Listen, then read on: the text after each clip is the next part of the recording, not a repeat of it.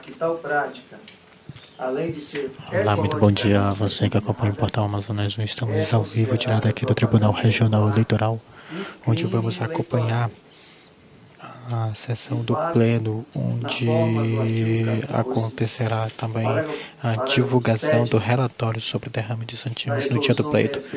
Com a palavra está o desembargador e presidente do Tribunal Regional Eleitoral, o desembargador João Simões.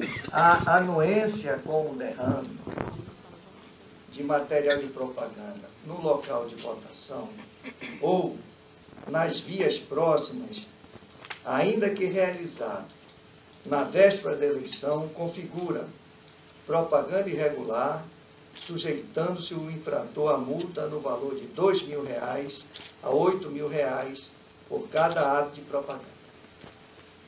Por sua vez, o artigo 39, parágrafo 5 inciso 3 da Lei das Eleições, prevê que constitui crime no dia da eleição punível com detenção de seis meses a um ano, com a alternativa de prestação de serviços à comunidade pelo mesmo período e multa no valor de 5 mil a 15 mil FII a divulgação de qualquer espécie de propaganda de partidos políticos ou de seus candidatos.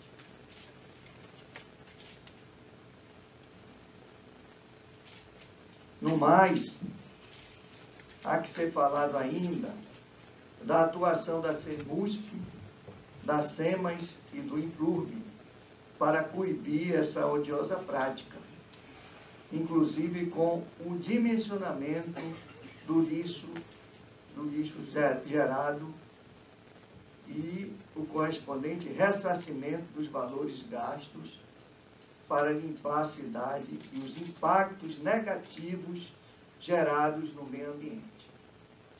Com essas considerações, agradecendo a presença das autoridades que atenderam ao convite deste presidente e deste tribunal como um todo, tendo em conta a necessidade desta Corte prestar contas quanto às medidas já adotadas para punir os infratores, e também quero agradecer aqui a presença da, da, da nossa imprensa, muito importante para divulgar essas ações. Conceda a palavra, inicialmente, ao senhor Paulo Ricardo Rocha Farias, secretário da Secretaria Municipal de Limpeza Urbana, CEMUS, que irá nos mostrar o que foi feito e o que é, continuará a ser feito em decorrência dessa atitude, que ao mesmo tempo se revela infração e crime. Portanto, senhor Paulo Farias, com a palavra, pode se dirigir a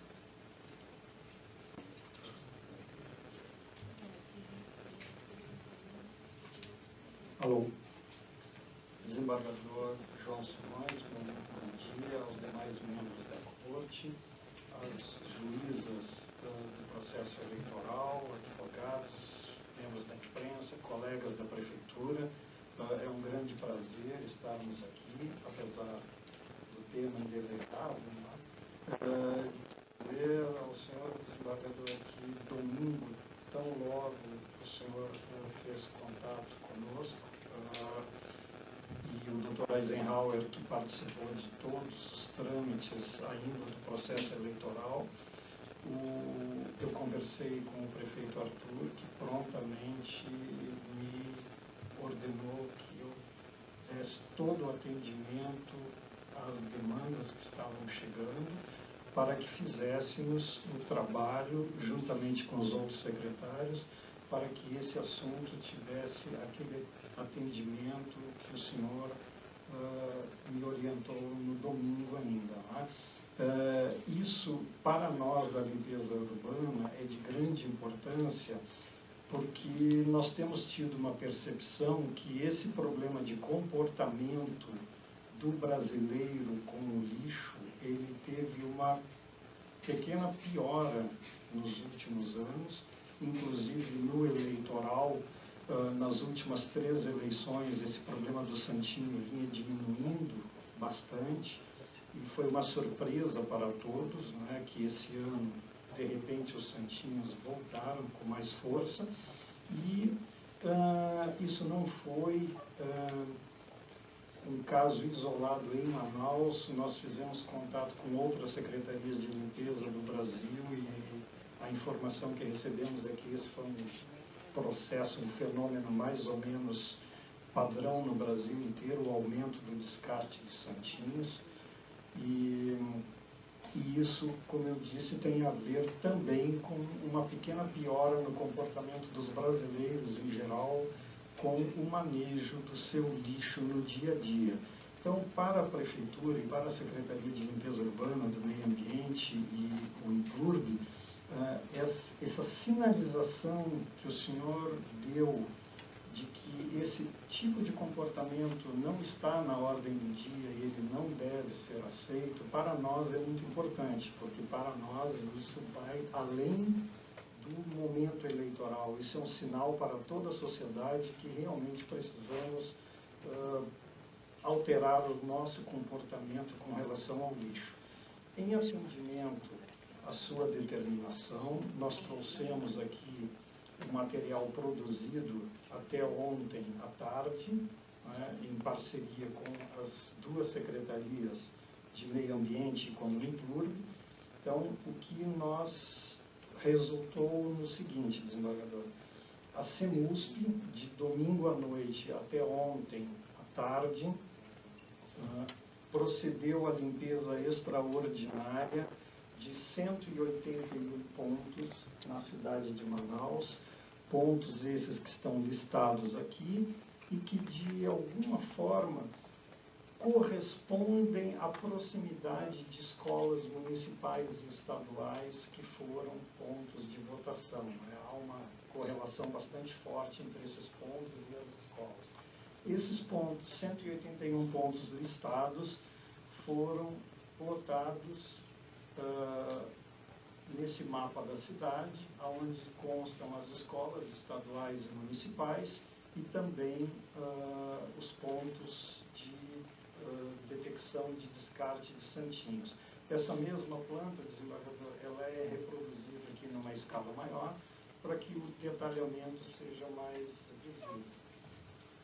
Nós temos aqui um CD com 308 fotografias que reproduzem as situações encontradas nesses 181 pontos. Então, nessas fotografias podem ser observadas uh, a situação geral da área, daquele ponto, uh, os, os santinhos que foram descartados e o detalhamento de identificação dos santinhos. É? Uh, essas 308 fotos resultaram nesta lista aqui com 80 candidatos. Então, essa lista aqui uh, apresenta o número do candidato, o número eleitoral do candidato e o nome que o candidato usou na propaganda. E, juntamente com isso, nós estamos trazendo aqui os documentos já de trâmite, tanto na área ambiental, junto à Secretaria de Meio Ambiente, quanto na área de posturas, junto ao INPURB, e a legislação que foi utilizada de enquadramento, tanto na questão ambiental quanto na questão uh, de posturas. Esse material foi produzido, agora ele gera os processos os respectivos processos. Esse material todo está sendo entregue aqui hoje ao senhor, uh, conforme uh, que nós entendemos seja o atendimento da sua determinação. Não, eu, eu agradeço ao pronto atendimento da nossa, do nosso requerimento e dizer que esse material todo queremos passar imediatamente nas mãos de quem tem a competência para imediatamente começar a fazer a apuração e apresentar a, a notícia crime ou que seja, infração, para esta corte poder examinar. Inclusive, até a corte da Justiça Estadual, se for o caso, Justiça Federal, aí, Sua Excelência, Procurador Regional Eleitoral, que vai dizer dessa parte. Mas eu quero dizer que é, nós estamos prestando conta da nossa, do nosso compromisso assumido no domingo. É, e não é nada pessoal contra ninguém, adiantar.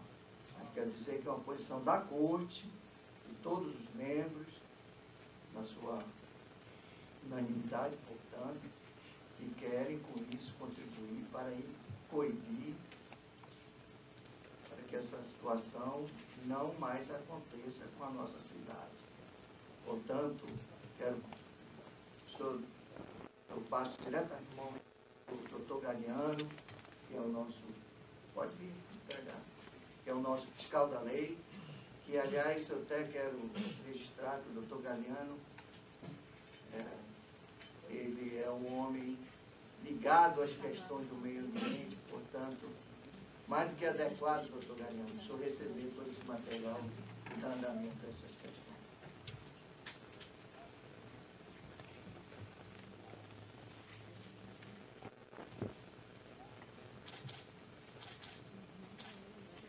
Pois não.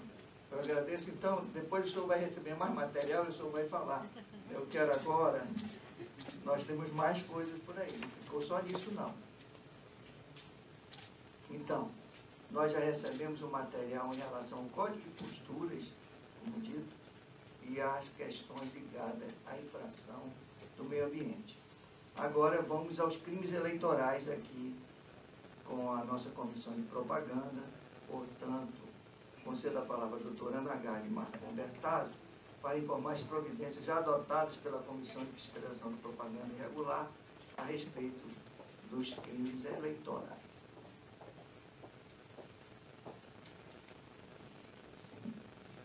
Bom dia a todos. Cumprimento a mesa na, na pessoa do desembargador João Simões, eu cumprimento os demais, cumprimento as colegas, os advogados, eh, os secretários aqui presentes, né? e agradeço também ao convite para que nós pudéssemos participar dessa sessão e trazer um relatório básico sobre aquilo que nós já estamos apurando até agora. A, a Comissão de Fiscalização da Propaganda Eleitoral, da qual fazemos parte, eu, Nagari, doutora Andréa Jane Medeiros e a doutora Rebeca Mendonça, estamos trabalhando já desde o início do mês de agosto.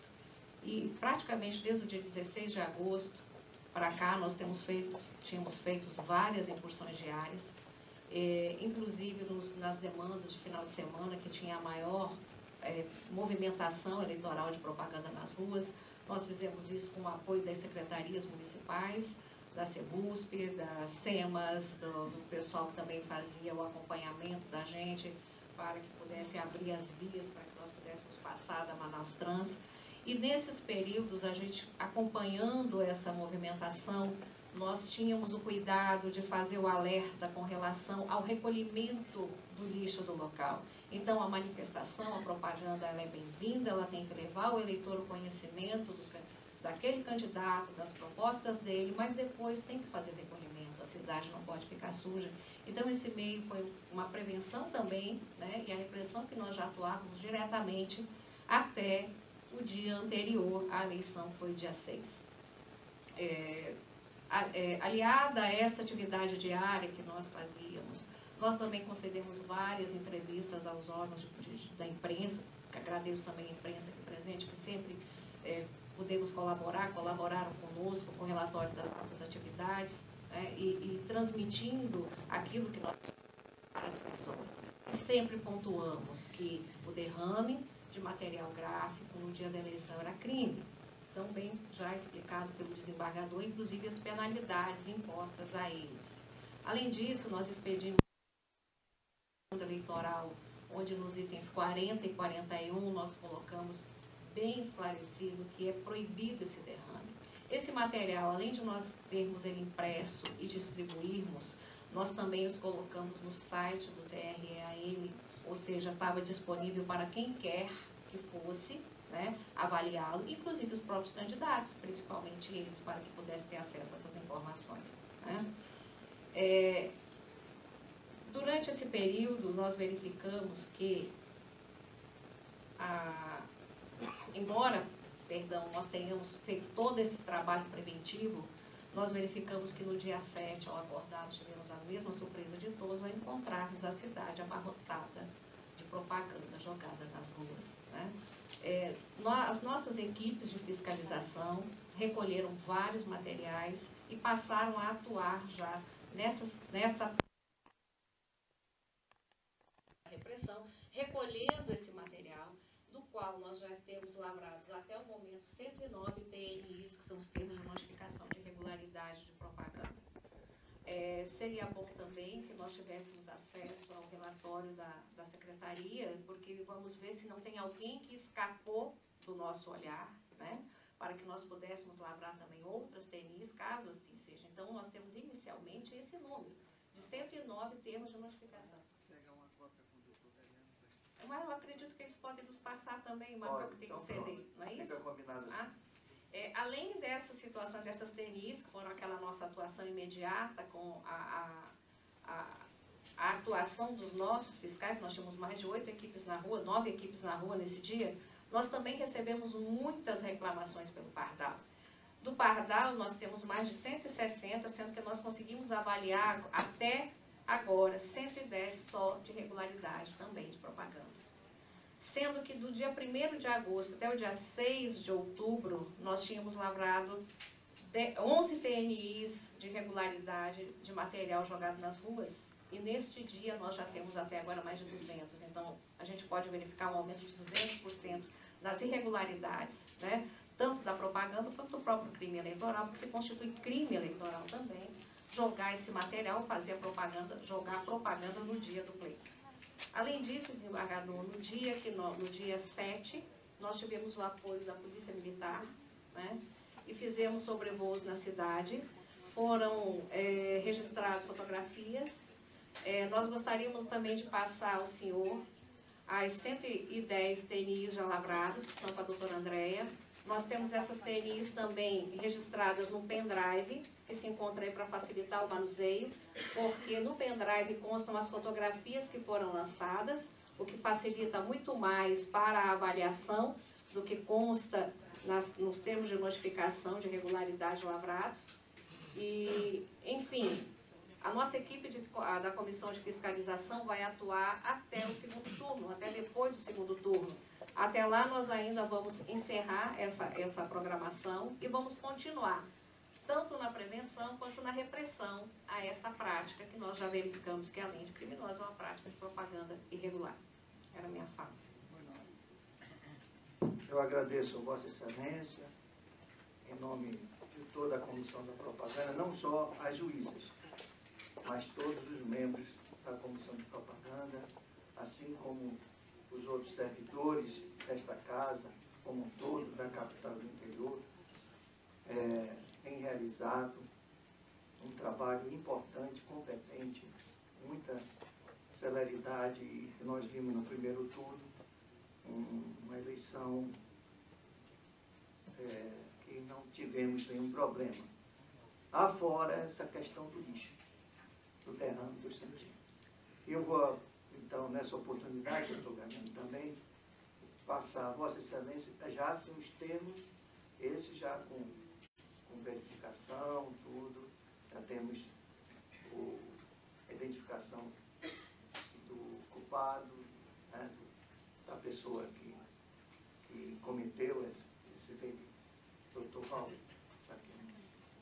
Bom, então, aqui eu quero conceder a palavra na oportunidade a Sua Excelência o Procurador Regional Eleitoral aqui presente e também depois algum membro da nossa corte queira se manifestar.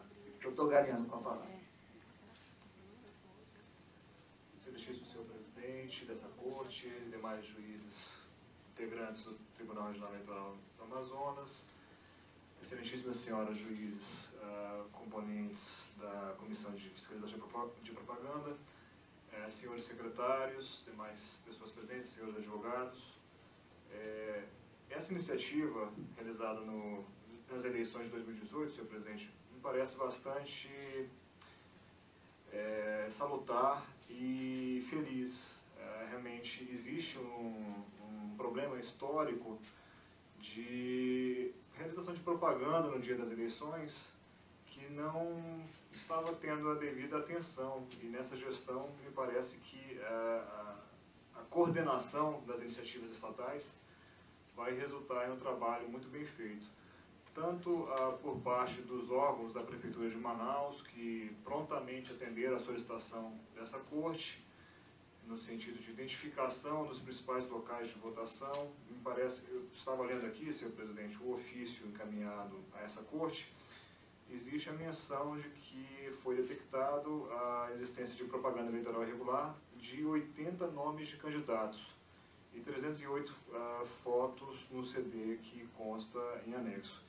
E aqui são mencionadas as providências, a legislação aplicável que caracteriza a infração administrativa, tanto do ponto de vista ambiental, quanto também uh, no sentido urbanístico, e o custo uh, que foi arcado pela coletividade, pela sociedade, com pagamento de impostos, no importe de R$ 114.282,22. Esse foi o custo estimado é, o custo mínimo, na verdade, que foi suportado pela coletividade para a limpeza, é, que me parece que existe a descrição que foi realizada tanto no domingo, quanto na segunda, quanto na terça-feira. Então, além do custo financeiro, também a, o impacto que isso causa, a, a limpeza urbana, a, a, manutenção de uma via limpa e, e também assim ressaltar como bem colocado por Vossa Excelência na, na abertura da sessão, a repercussão que essa conduta causa, tanto do ponto de vista eleitoral, que eu vou fazer uma rápida menção, quanto do ponto de vista administrativo ambiental. O órgão, eh, os órgãos da Prefeitura, as secretarias já realizaram os procedimentos administrativos, deram início a, a essa, eh, esse procedimento que vai ser adotado, tanto que poderá resultar na, na autuação, na, na, aplicação de multas pela prefeitura. Essa é a consequência administrativa.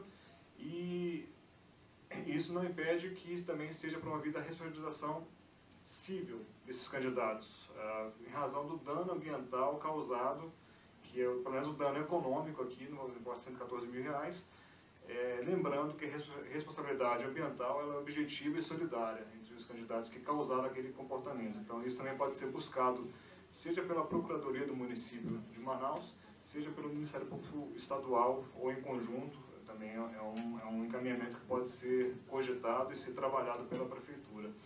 E do ponto de vista é, eleitoral, presidente, aqui, como foi colocado, existe tanto a, a configuração da propaganda eleitoral irregular, que esse, todos esses casos serão distribuídos aos procuradores eleitorais auxiliares, os três colegas que atuam no Ministério Público Federal na, na parte de propaganda, e poderão, dentro da sua independência funcional, adotar as providências judiciais perante essa corte, perante os juízes auxiliares.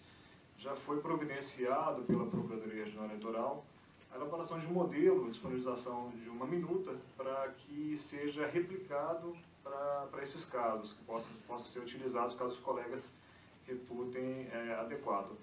E uma, a segunda consequência eleitoral é a configuração do crime de boca de urna, previsto no artigo 39 da Lei 9.504, que poderá vir a ser ajuizada ação penal contra esses candidatos é, pelos promotores eleitorais, caso o candidato não detenha prerrogativa de foro, ou pela Procuradoria Regional Eleitoral, caso seja secretário de Estado, é, prefeito, deputado estadual, enfim, as autoridades detentoras de prerrogativa de foro que respondem criminalmente perante essa corte. Então, é, é, realmente elogiar o trabalho de todos, essa iniciativa coordenada, conjunta, e que é, resultará em um, em um grande efeito para as próximas eleições. Agradeço a Vossa Excelência, pergunto se algum membro da Corte quer se manifestar? Senhor Presidente, doutor Marcos membros, obrigado, senhor Presidente, senhor Procurador Regional Eleitoral, senhores advogados, senhores membros da imprensa, demais presentes, as colegas juízas da propaganda eleitoral. Senhor presidente, eu apenas uh, peço a palavra para reforçar tudo que foi aqui dito pelo Sua Excelência Procurador Regional Eleitoral, mas me permita fazer um pequeno destaque. Que eu percebi que na fala de Sua Excelência ele disse que esse, não havia uma preocupação anterior. E eu acho importante rememorar que esta corte é, já há alguns anos se preocupa com essa questão da limpeza. Inclusive na gestão do, do socialista desembargador Flávio Pascarelli, nesta corte, é, houve um trabalho muito enfático, em que inclusive é, tínhamos à frente doutor Jorcenildo, que hoje está presidindo o pleito, e o doutor Abraham me lembra agora também que ele presidiu o pleito a essa época. Então foi um trabalho que desde lá, doutor Galiano, vem se realizando para combater essa prática. Inclusive com selo verde. Exatamente. Lembro mais, presidente, inclusive foi vencedor do prêmio Novare, que é um prêmio que premia as boas práticas e iniciativas ah, junto à, à, justiça brasileira. Apenas a minha fala é para fazer esse destaque, que realmente a justiça eleitoral, esta corte de justiça, já há muitos anos se preocupa e tem iniciativas nesse sentido. Pois não. Agradeço a Vossa Excelência. Mais alguém quer se manifestar? Bom, então, não mais havendo, eu quero mais uma vez é, agradecer a presença de todos e é, ratificar tudo que o doutor Marco Antônio mencionou. Na verdade, eu, não, não, disse que nós estamos inovando nesse aspecto, mas eu quero dizer que, é, no, conversando com o pessoal da, da limpeza pública, especialmente o secretário, o doutor Paulo Farias, ele mencionou que esta questão ela vinha diminuindo com justamente com, com o combate que foi feito, está entendendo? Com essas medidas. E este ano nós fomos surpreendidos, doutor Eisenhower, com um aumento significativo, como disse a doutora Ana Gade.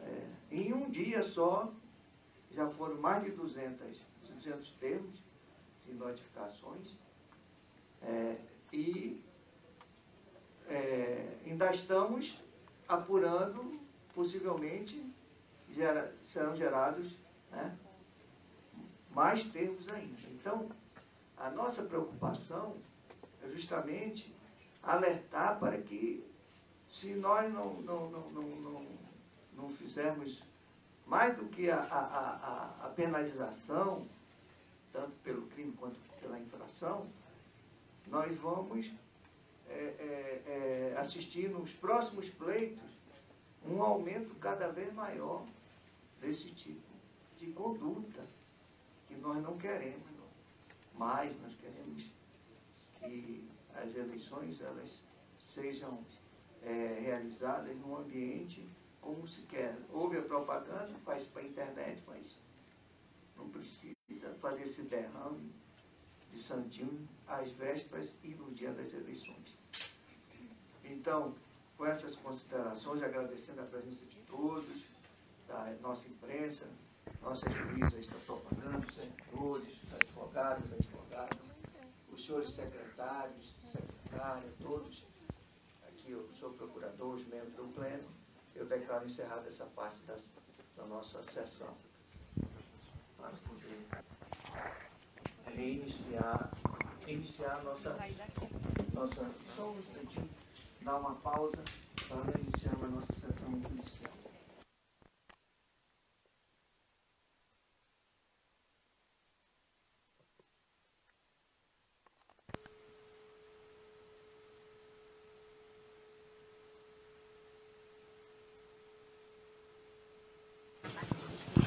Pois bem, o desembargador João Simões encerrou aí a sessão, a primeira parte da sessão, que falou sobre esses crimes eleitorais, inclusive aí, inclusive de, da, da, toda, de toda a sujeira de crimes eleitorais praticados pelos, pelos candidatos durante o pleito ocorrido no último dia 7, o último domingo, onde aconteceu a, as eleições. Agora nós vamos ali para a parte de fora uh, do plenário aqui, para que a gente possa conversar é, diretamente com os responsáveis,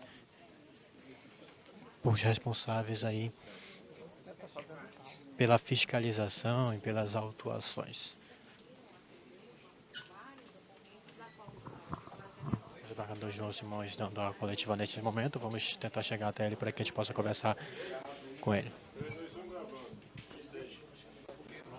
O que, que acontece a partir desse momento que recebido esses relatórios? Bom, como nós falamos no dia das eleições, primeiro turno, no dia 7, nós assumimos um compromisso de fazer apuração desses crimes e dessas infrações. E hoje nós estamos prestando contas do trabalho que realizamos até aqui. E como todos puderam ver, na sessão solene administrativa, recebemos por parte das secretarias do Meio Ambiente, da Secretaria de Limpeza Pública, todo o material que caracteriza tanto crime ambiental e também, aliás, a infração ambiental e o crime contra a, o Código de, de Postura. E também por parte das nossas juízas da propaganda, doutora Nagali, doutora Andrea Jane, doutora Rebeca, as infrações cometidas no dia das eleições.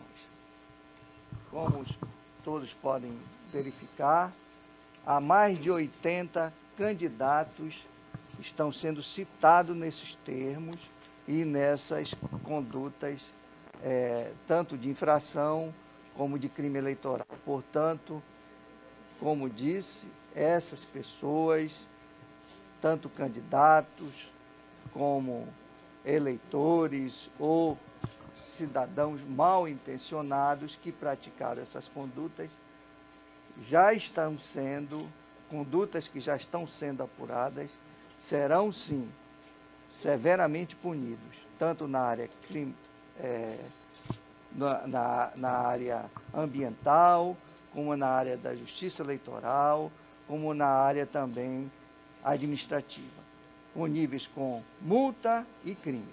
Está na fase da apuração, mas tem um prazo para começar a punição?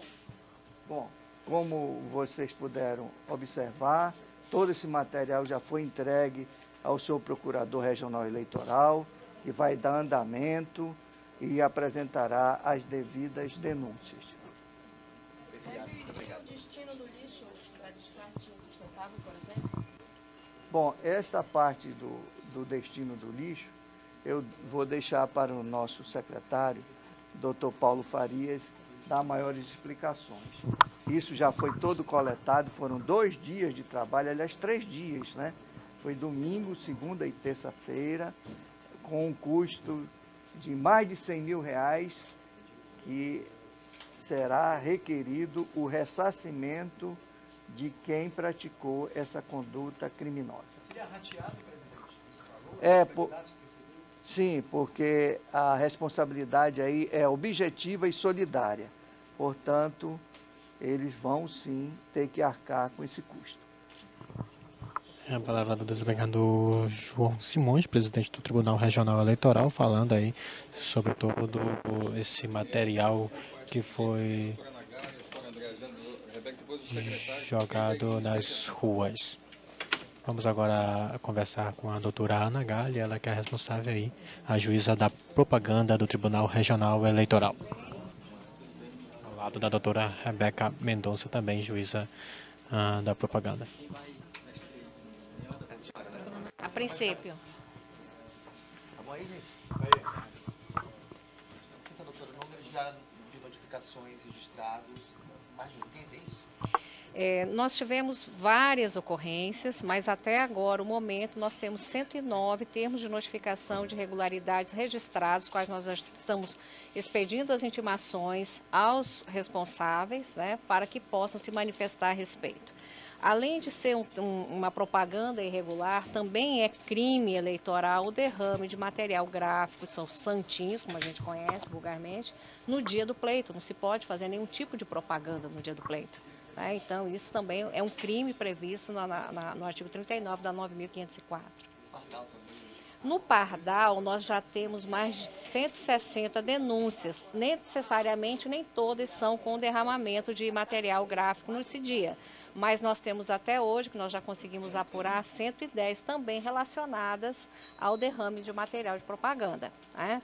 Isso não quer dizer que esse número já tenha se exaurido. Nós podemos ainda, com esse material que vai ser repassado pela Prefeitura hoje à tarde para nós, verificar se todos aqueles, aquelas pessoas que estão naquela relação já foram notificadas, porque se elas não foram, nós vamos fazer os TNIs também contra eles, né? É, é, importante ressaltar também que esse material que foi repassado ao Ministério Público Federal vai possibilitar aos seus representantes que, se entenderem a natureza e que a, a, conduta tenha se adequado ao tipo penal previsto como crime na Lei 9.504, eles possam ofertar as denúncias respectivas a respeito. Algum candidato pode ser punido deixar de ser candidato, não poder ser candidato Ele pode, a punição ela pode vir é, com a aplicação de multa, porque se não houver o pagamento da multa, né, ele já não poderá se fazer, se lançar candidato novamente. Mas essa, essas punições que tem é, se ele responder a um TCO que caiba uma transação penal, isso não vai importar, e ele cumpra, obviamente, a transação que ele faz, não vai importar em caso de reincidência. Mas se for considerado como um crime é, que é o maiorzinho um pouco a pena, e ele tiver uma, eventualmente uma condenação, isso pode evitar também que ele possa se lançar candidato posteriormente. Sim, a fiscalização ela não parou. Nós continuamos com, equipe, com as equipes nas ruas, né? Nós só demos uma paradinha ontem para fazer essa lavratura de todos os sistemas, que eu precisei, nós precisamos, na verdade, ocupar todos os funcionários para isso, né? E a propaganda eleitoral ela já reiniciou 24 horas após o, o encerramento da votação, que foi no dia 7. Então, iniciou já no dia 8. Então, nós continuamos com as equipes, nós continuamos acompanhando, mas agora nós temos aqui a nível de Estado dois candidatos. Então, ela já diminuiu bastante as nossas atividades na rua com relação ao que nós tínhamos com os candidatos às eleições proporcionais e a majoritária do Senado. E, e, também nós temos também o acompanhamento das manifestações com relação aos candidatos à presidência, porque nós temos grupos aqui que apoiam um ou outro candidato e sempre que a gente tem notícia de algum, alguma manifestação, nós temos acompanhado, sim.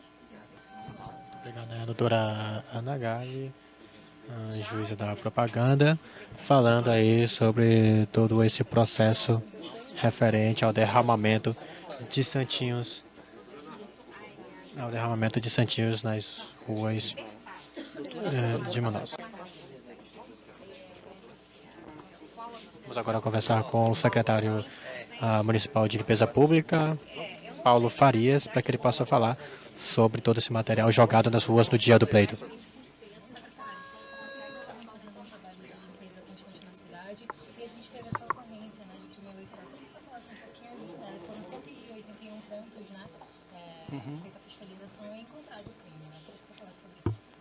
É, do ponto de vista da Secretaria de Limpeza Urbana, nós gostaríamos de ressaltar uh, o papel é, desse grande exemplo que o, o desembargador João Simões, juntamente com as juízas do eleitoral, estão dando para a sociedade. Nós vínhamos num processo das três últimas eleições quando esse problema do derrame de Santinho vinha diminuindo sensivelmente aqui na nossa cidade. E, para surpresa de todos, agora no pleito deste ano, o tema ressurgiu com bastante força. É? Uh, é? claro que as questões eleitorais são tratadas por quem de direito, não é muito bem tratadas. Do ponto de vista de limpeza, é? fica aqui o nosso apelo à sociedade, não somente aos candidatos e cabos eleitorais, mas a todos nós brasileiros e manauaras, uh, para que possamos agora, com esse episódio, refletir melhor sobre o nosso comportamento do dia a dia com o lixo. Uh, nós temos notado que o comportamento dos brasileiros em geral com o seu lixo vem piorando. Uh, e isso, como eu disse, vai além da questão eleitoral de candidatos. Então fica aqui o nosso apelo para que todos nós, sem exceção, possamos ter um comportamento mais adequado Uh, e aí o exemplo dado pelo desembargador de que isso não será admitido não é? um exemplo bastante forte e o nosso apelo para que então possamos ter uma cidade mais limpa, possamos discutir os mais variados temas, eleição ou o que seja, não é? sem que tenhamos que jogar lixo no chão. Muito Quantos pontos os santinhos estavam jogados? É, nós uh, até aqui detectamos 181 pontos, não é? E o custo dessa operação até agora, incluindo equipes, EPIs, ferramentas, sacos, veículos, transporte, está na ordem de 114 mil reais. Qual foi a quantidade de, de lixo e qual a destinação que vai dada? É, a quantidade de lixo em si, uh, e aí é preciso entender, do ponto de vista de uma cidade como Manaus, que coleta por dia 2.800 toneladas de lixo, a quantidade em si não é significativa porque o dano maior é visual e de entupimento da drenagem. É? Então, uh, esse material foi coletado junto com o restante do lixo da cidade, porque realmente em peso não, não tem um significado grande. Obrigado. Obrigado. É para o aterro municipal. O material sai bastante sujo das sarjetas e tem que ir para o aterro. É a palavra do secretário municipal de limpeza pública, Paulo Farias, falando sobre a destinação uh, do lixo e também sobre tudo que foi recolhido durante essa campanha é, eleitoral. Vou pedir que o nosso cinegrafista possa me acompanhar para cá, para que a gente possa é, devidamente fazer um resumo para você que chegou neste exato momento ao portal Amazonas 1 e que você possa é, saber de fato quais foram os dados que foram apresentados ah, por toda a, a, a, fiscalização, a propaganda. O relatório foi apresentado aí uh, no dia de hoje aqui no pleno do Tribunal Regional Eleitoral. Foi apresentado pelo Paulo Ricardo da Rocha Faria, secretário de Limpeza Pública, de domingo à noite até ontem à tarde, terça-feira. Uh, foram verificados, foram analisados 181 pontos de votação que foram trabalhados pela Secretaria de Limpeza Pública que foram onde foi feito esse trabalho da CEMUSP. Os candidatos vão responder por infração administrativa e também podem responder também por boca de urna, inclusive. É, tudo isso vai ser feito pelo Tribunal Regional Eleitoral, pela comissão, pela corte responsável por este tema. Segundo o secretário de, Limpeza Pública, mais de 114 mil reais foram utilizados para fazer a limpeza da cidade. Ele não revelou assim a quantidade, até porque é, o material todo é recolhido com todo o lixo da cidade, mas que ele falou aí que esse material jogado na rua é, ocasiona acidentes de trânsito, principalmente por motociclistas e também na drenagem. É, todo esse papel vai para os esgotos e, portanto, aí é, é obstrui a passagem da drenagem. Uh, os dados foram passados para as cortes responsáveis para que apurem sobre as punições devidas eh, a todos os candidatos que sujaram as vias. Só lembrando aí que foram 80, 80 candidatos eh, foram aí eh, identificados jogando aí o, os seus cabos eleitorais, jogando esse material na rua e, e esses 114 mil reais, pouco mais de 114 mil reais, vai ser, vão ser, esse, esse valor vai ser rateado entre todos os candidatos sujões aí que jogaram os seus santinhos nas vias públicas da cidade de Manaus durante o pleito ocorrido no último domingo. Com imagem de Jorge Albuquerque, reportagem de Thiago Ferreira, Portal Amazonas 1, informação com qualidade.